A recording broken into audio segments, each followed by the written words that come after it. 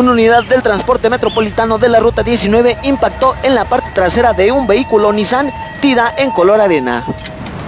Esto sobre la avenida Fidel Velázquez al cruce con prolongación Avenida Alcalde, lo que generó el cierre a la circulación de la avenida Fidel Velázquez en dirección hacia Federalismo, así como también la avenida Alcalde en los carriles laterales. Ya elementos de la Secretaría de Movilidad retiraron estas unidades para darle más fluidez a esta vía, por lo que te sugerimos manejar con precaución y respetar los límites de velocidad.